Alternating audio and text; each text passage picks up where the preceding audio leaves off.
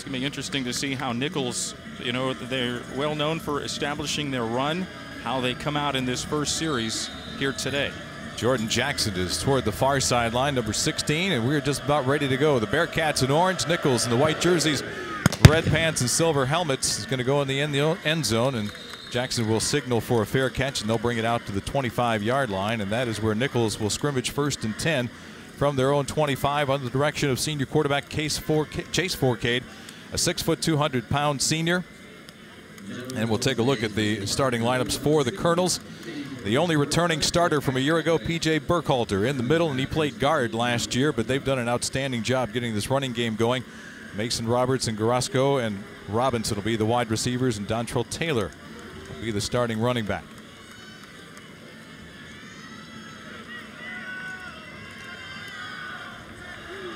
So from the 25, Fourcade lines him up. Two receivers to the bottom of the formation.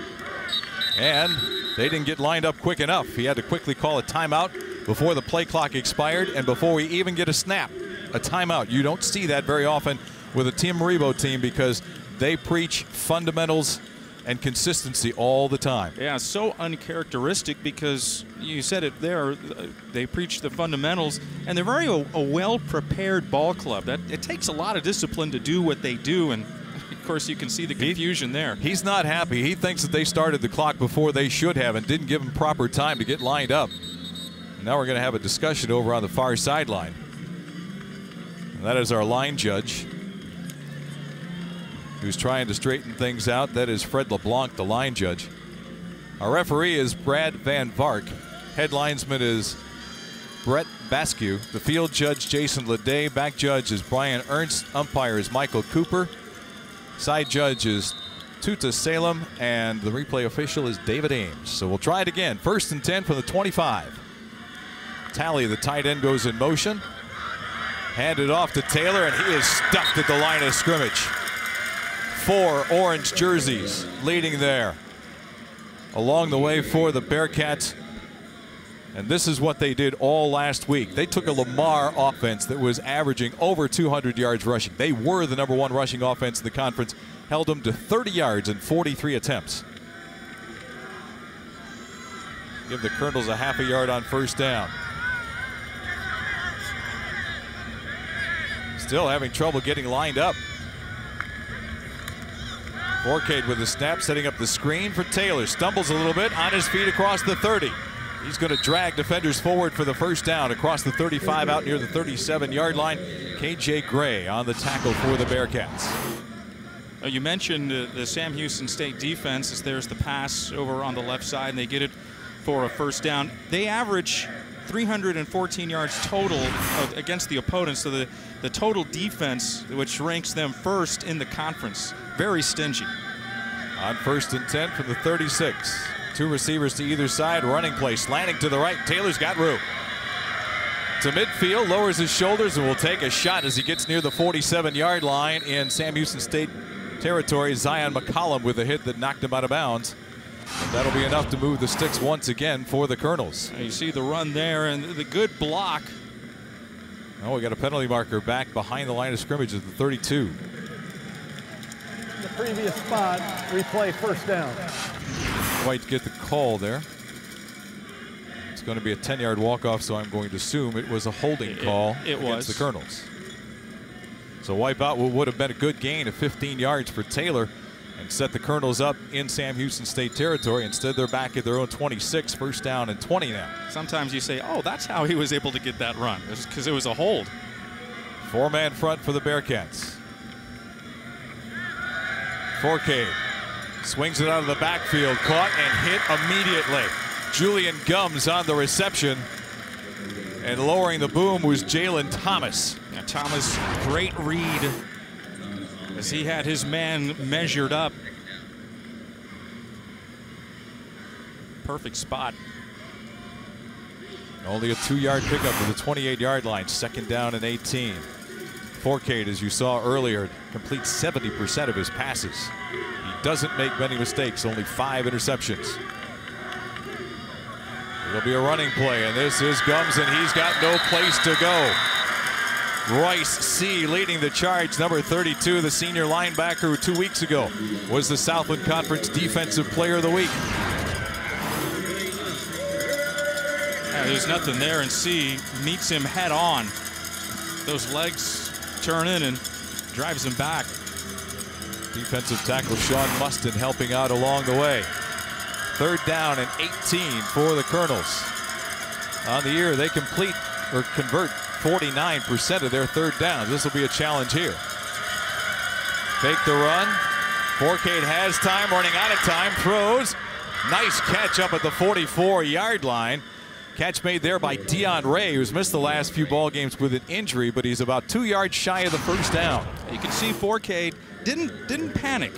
He stayed true to his pocket, kept looking, felt the pocket the pocket collapsing, and then he finally got it, and it was uh, caught there by Ray. He doesn't make the mistakes like you had mentioned, but going to be a couple of yards shy of the first down.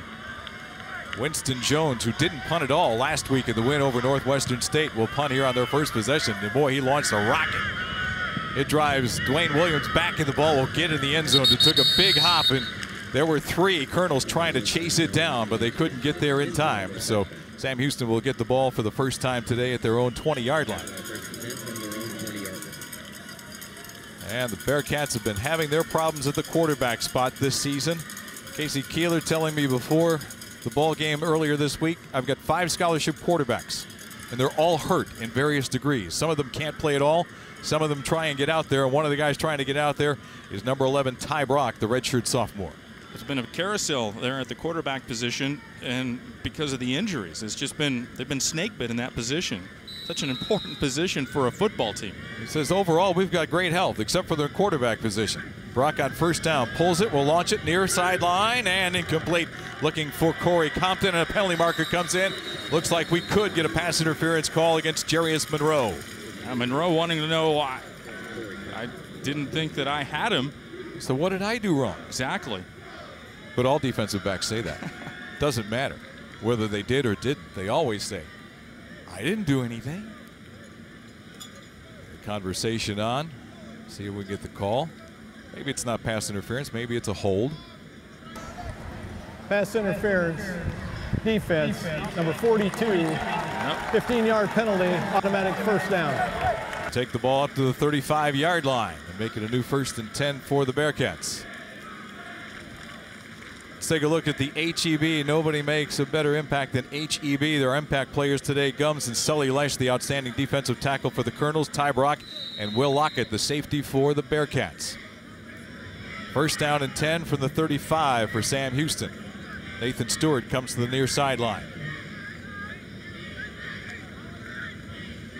Running play for Donovan Williams. Not much to go. Lowers his shoulder and tries to get the pile forward for two or three yards for a host of white jerseys will bring him down there. Williams with a big game last week, 126 yards and 29 carries and one touchdown. Interesting to see how Sam Houston comes out here in this first offensive set, especially from last week. They really wanted to get back on the football field after losing that, that tough three overtime game against Lamar. On second and eight, Brock again to Williams. Found a little seam, and he'll have the first down as he gets to the 45 and maybe the 46 yard line. Donovan Williams dragging defenders forward. Kevin Moore finally makes the stop. Williams very sneaky. Met contact, but was able to wiggle his way in and get a first down run. Right back to the line of scrimmage of the Bearcats. And it's Williams again. Starts left, going to cut back against the grain. All right, to run over a defender and will pick up a couple to the 47-yard line.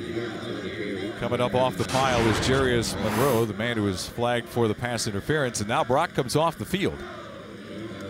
And Ryan Humphreys will check in for this one.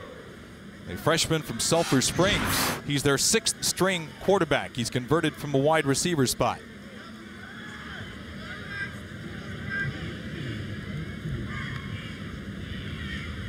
Give it to Williams. Stuffed at the hole and be dropped for no gain. Maybe a little bit of gain on the play. Coming up shaking his head was Larry and James saying, no, no, no, not in my house, you don't. Now it's going to be third down and long. Brock comes back on and Humphreys comes out. K.C. Keeler looking for the secret to getting his offense back on track after last week's game in which yards were tough to come by. Third down and eight here. Brock under pressure, got it out, complete on a crossing pattern to Brennan Tibbs, but he's going to be shy of the first down. He'll be at the 49 yard line, but there's a penalty marker back in the secondary who might have a roughing the passer, and Brock is shaken up and he's hobbling toward the sideline. The Bearcats don't need that. Personal foul, roughing the passer. Defense number 16, a low hit on the quarterback, 15 yards, automatic first down. Sam Houston catching the break there with the roughing the passer. Unfortunately, it comes maybe at a cost of an injury, and that, that looked pretty tough right there. So the walk-off is going to take the ball to the Nicholls 34-yard line, where it'll be first and 10. Penalty was called on Jordan Jackson. A delayed blitz, and Humphreys is back in at the quarterback spot. He's got Tennille Carter to his left.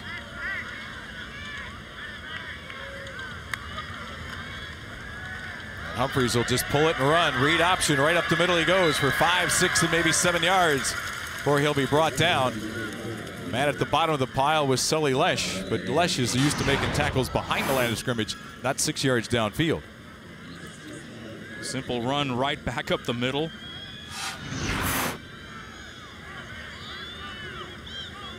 Swing the tight end in motion from left to right. Counter action for Humphreys, looking for some daylight. He'll have the first down inside the 25. Keeps his feet to the 15 and maybe the 13-yard line. Laiche over the top, running him down from behind.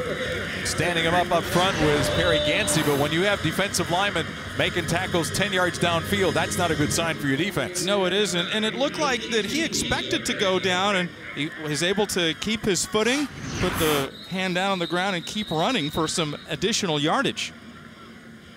Now we got a whistle coming in from the line judge. The previous play is under review for the runner's knee being down. All right, and as you mentioned, looked like he might have gone down, so that that's going to be the determination.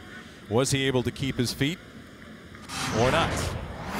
Uh, get a look at it again here from Humphreys.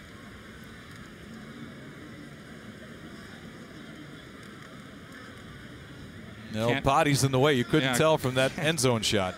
The other angle that we had, I think that there might be a, a better shot. Let's look at this one again. Good job there by the block, the offensive line. I don't know that it got down at the I- I- 20 I yard don't- line. I don't think he did. You know, I think they're going to give him the extra five to the 15 yard line. But So be this is the angle that we they- can see here. No, Oh. it did not go down. I, did it touch there on that close up? It was really, really close.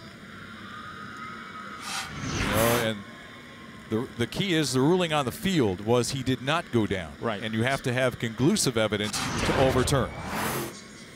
So it's going to be interesting to get the call here. Here's the best angle that we have.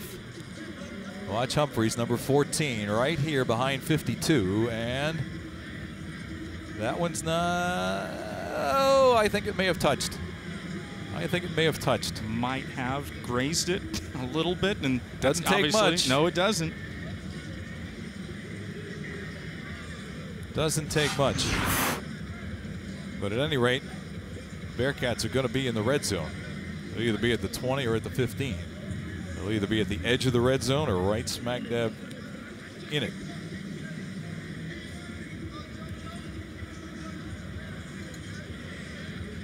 Such an important game for both ball clubs and Sam Houston State on their first offensive possession wants to get a Make a score statement. here. Yeah. Make a statement. Because one, because the the magnitude of the game. Two, especially also after last week of the offensive struggles that they had, and just uh, losing a tough game here. You know, Tim Rebowe knows that winning here in Nacogdoches has not been easy for his team over the years. And there's K.C. Keeler. Proud of the way his team fights for 60 minutes regardless of what happens. Led by that defensive effort. The defense usually keeps him in ball games if the offense can make plays. And he says, with the difficulties we've had at quarterback, well, let's get the call here.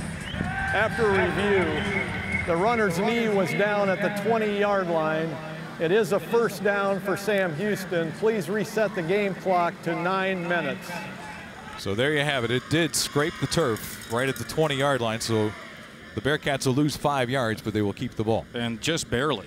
And that, that was a very difficult view to and that, see. The, and that the last angle. one we saw was probably sold it. It looked like it may have just brushed across. But K.C. Keeler says our motto each week now until we get our quarterbacks healthy is just find a way to win. We don't care how pretty it is, how ugly it is, just find a way. Yeah, well, Humphreys and hopefully Brock is okay. He'll be come back, be able to come back in the ball game. But their their job is to manage the offense. On first down, running play. This is Alex Williams over the right side. He'll pick up three or four yards. First contact came down low for number 16, Jordan Jackson, a freshman from Prairieville, Louisiana. Gain of three to the 17. A lot of funny names. We had to get some name pronunciations before the game for Nicholls. Straight keep for Humphreys. Hit at the 15-yard line and driven back. Kevin Moore coming up from the safety spot to make a very sure tackle. Tim Rebowe says Moore is becoming a playmaker as the year goes on. He's a transfer from Texas Tech. Looks Brock is going to come back into the ball game. Not walking too bad. That's a good sign. Didn't really see much of a hitch in his get along. Third down and five from the 15. Opening possession for the Bearcats. Brock has time. Now throws toward the end zone. Caught! Touchdown, Sam Houston State. Brennan Tibbs, the junior from Canton, Ohio, with his first touchdown catch of the year, put Sam Houston State on top six to nothing. Well, that, was all made possible by the offensive line buying time for Brock to be able to find his receiver into the end zone. They got some plenty of time here. No panic. He throws it into the end zone. Hudson Pinniger to try the point after out of the hold of Ryan Humphreys. Good snap and hold. Pinniger's kick is true. Timeout on the field. Seven minutes, 53 seconds to play here in the opening quarter. Sam Houston State jumps out to the early 7-0 lead over number nine Nicholls here in Huntsville.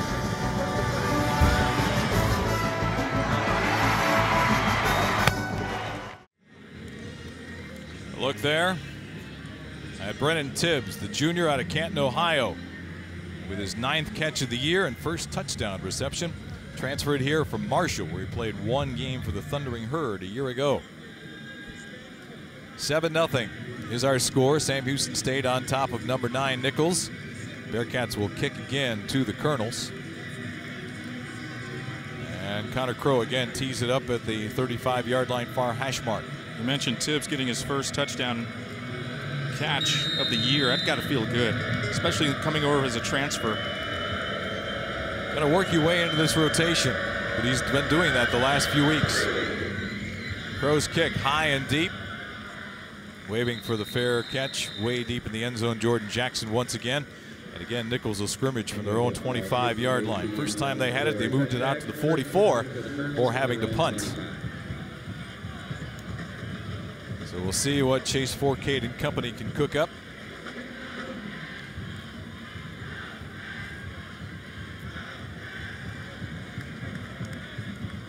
Nicholls is old school, traditional, fundamental. Knock him down, run the football.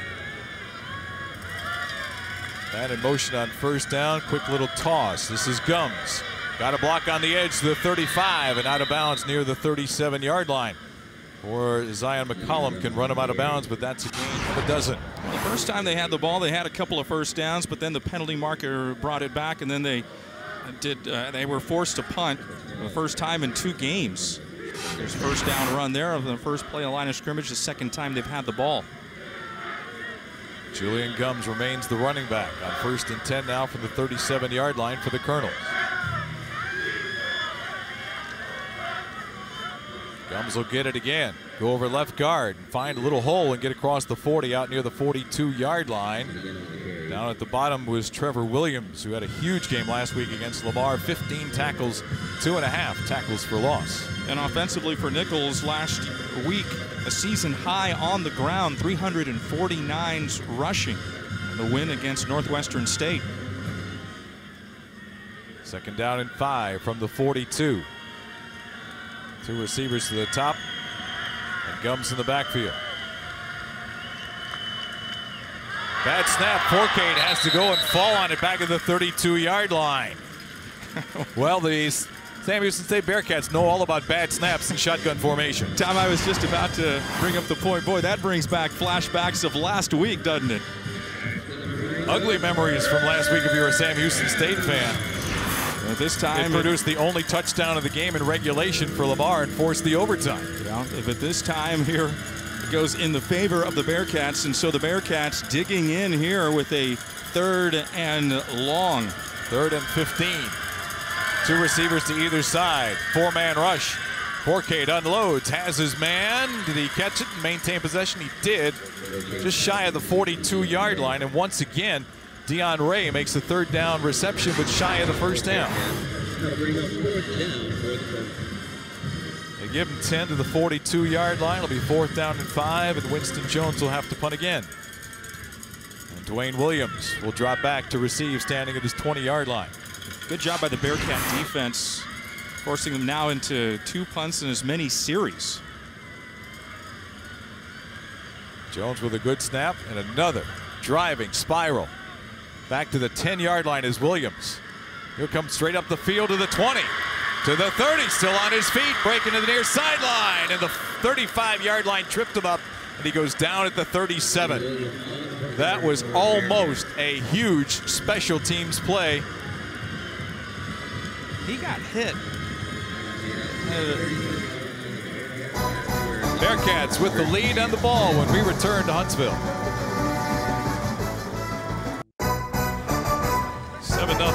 Houston State starting for their own 37-yard line after a nice 27-yard punt return by Dwayne Williams. Bearcats will scrimmage. And this is Noah Smith. The Wildcat formation has some room over the left side. He'll be tripped up at the 44-yard line by Kevin Moore, who's had to make a lot of stops, but this is the third now person we've seen take a direct snap in the shotgun. Yeah, K.C. Keeler uh, kind of alluded to that that was going to be an option of doing a, a, something different to give their defense a different look. Just shy of the 45-yard line, second down and a couple. Smith will take it and run. And he'll get into Nichols territory down at the 47-yard line before he'll be spun to the turf. Tackle made there by Christian Mims.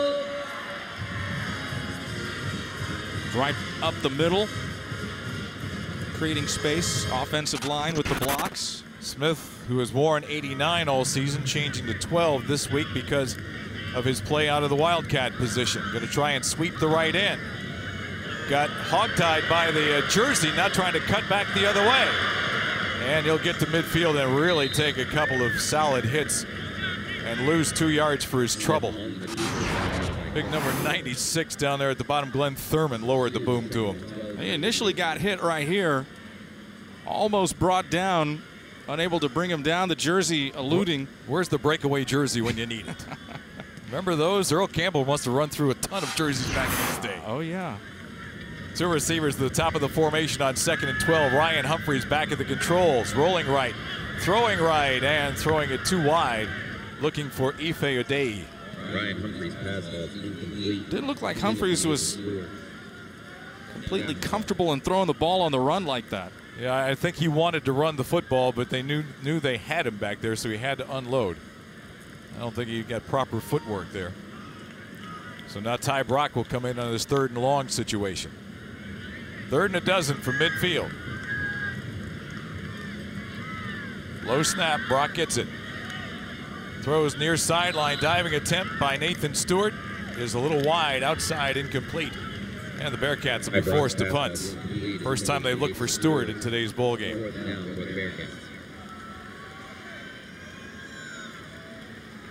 So Matt McRoberts will come on to kick. McRobert has put 11 punts inside the 20 yard line so far this season. He'll be looking to do it again this year, or this time rather. Mason Roberts stands back near his 10 yard line for Nicholls.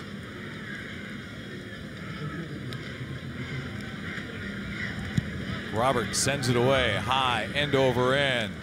Hits at the two and goes forward. He didn't get the backspin on that one. Touchback will bring the ball back out to the 20-yard line where Nicholls will scrimmage first and 10 with 3:48 to go here in the opening quarter, and Sam Houston on top by a score of seven to nothing. This is their third time now to have the ball, Nicholls. Let's see offensively how they can have some continuity. They've gotten a couple of first downs, but both times on third down time, they've come up just a bit short on the pass. Well, one time they were set back by a penalty to put them in a long yardage situation. Then the last time they had the ball, there was the bad snap that Fourcade wound up losing 10 by the time he could recover the football. New running back now is Kendall Bussey, senior out of New Orleans. He'll shift to the right side of Chase Fourcade and take the handoff. And ran right into Hunter Brown. And Brown's teammates will help him out and hold that to a gain of maybe a yard and a half. Flag after the play.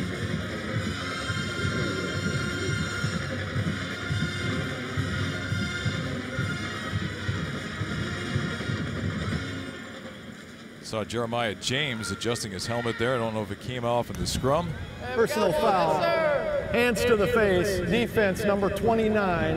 A 15-yard penalty will be added to the end of the run. Automatic first down. Denzel number Sims. 57 for Nicholls may remain in the game. Well, that's why the helmet came off. Hands to the face.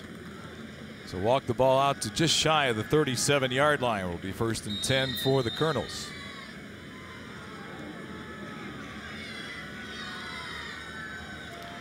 Good look at Fourcade there. Preseason All Southland first team pick at quarterback. Play fake.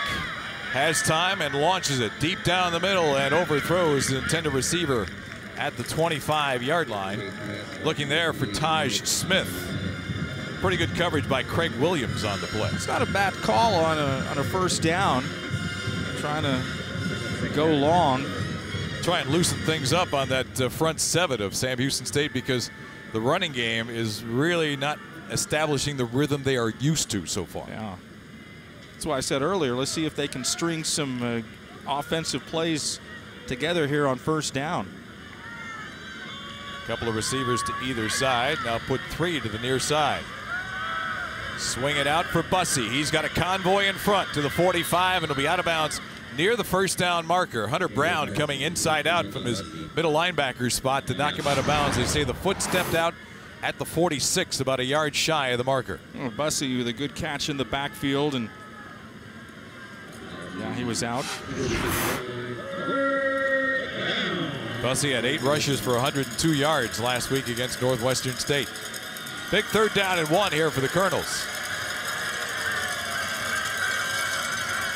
Toss, Bussey tackled, got the first down though as he dives across. Once again, it was Hunter Brown coming up trying to stop the first down attempt. But Bussey a little bit too much momentum, carried himself forward for the first.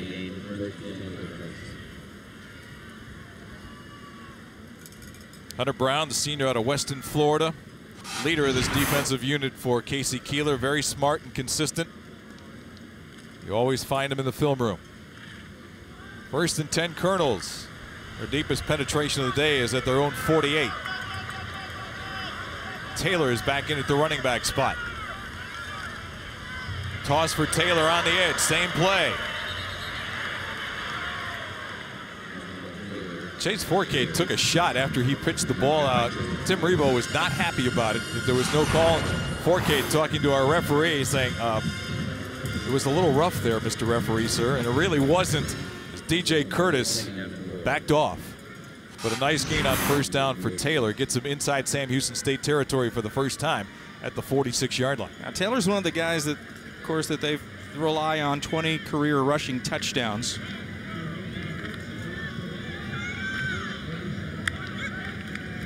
On second down, Fourcade under pressure, eludes one man. Stays on his feet, going to tuck it and run. He'll be knocked out of bounds near the first down marker.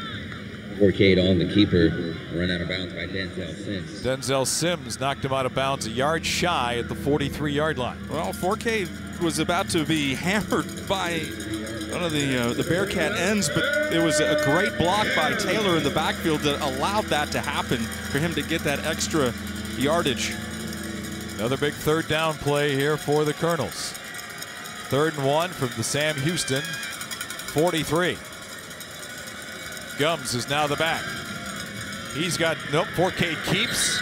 He'll be close. I don't know that he got there. Okay, on the keeper. Big tackle there by Javon Leon Fourcade very upset. at the mark. Yeah. And remember, it, he can lean, but if his knee goes down, it's where the knee is. Here's the discussion about the spot. The ruling on the field is that the runner is short of the line to gain.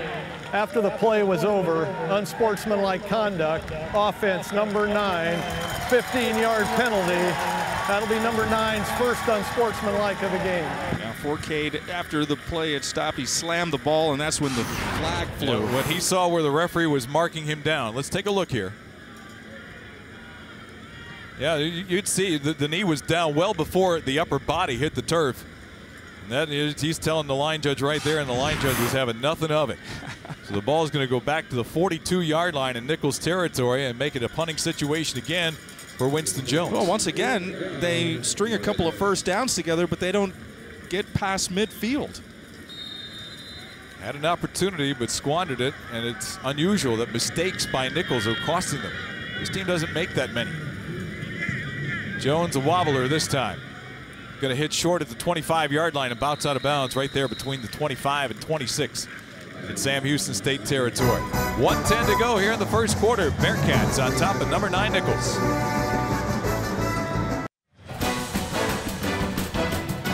Sam Houston State football at their own 25-yard line as we return. Nicholls, the lone unbeaten team left in the Southland Conference. Right on their heels, UIW, Sam Houston State, and Central Arkansas. But that loss for Central Arkansas came at the hands of this Nicholls team. Running play on first down for the Bearcats. Donovan Williams had no place to go.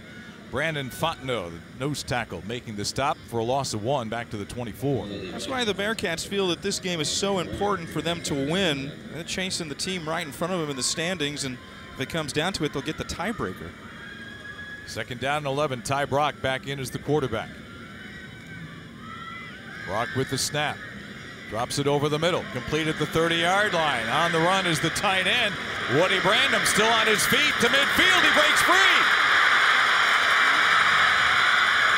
And Brandom goes all the way to the 15 yard line in Nicholls territory. Woody Brandom, the senior tight end, with just his eighth catch of the year.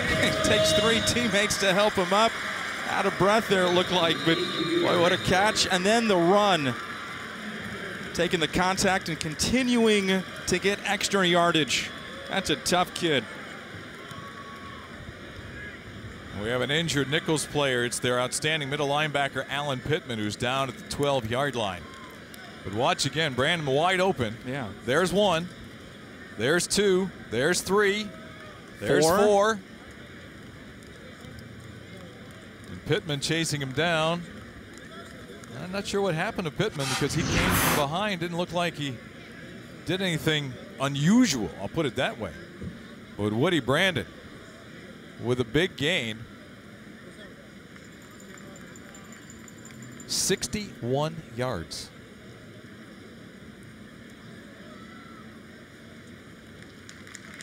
They help Pittman up. And he's not walking too badly over to the sideline. Good to see. Exactly. Alan Pittman, three-time All-Southland Conference second team selection. And he's been playing second fiddle to upperclassmen at the linebacker position over the years, but now this is his defensive unit, the middle linebacker spot. He has really grown into it, according to Tim Rebowe. So now the ball at the Nicholls 15-yard line in the red zone for the second time are the Bearcats with a 7-0 lead. Time running down here in the first quarter, 27 seconds and counting. And Noah Smith back into the Wildcat. Smith just looks for daylight. Tries to bounce it left again, the jersey tackle. and a flag comes in behind the play. Perry Gansey, guy who got the jersey and wouldn't let go, so now we have to sort out the penalty. Holding number 52 of the offense, 10-yard penalty, replay first down. Colby Thomas, the left guard, the guilty party. He's going to walk the Bearcats back to the 25 yard line. Clock stopped with 14 seconds left. probably bring Brock back out as you have a first down and 20. Brand will be kind of a wing back to his right. Donovan Williams, the running back, to his left. Brock says, just chill, guys. We're just going to let the clock run out here in the first quarter. So 15 minutes in the books here at Bowers Stadium in Huntsville. Sam Houston State Bearcats lead number nine Nicholls, 7 to nothing.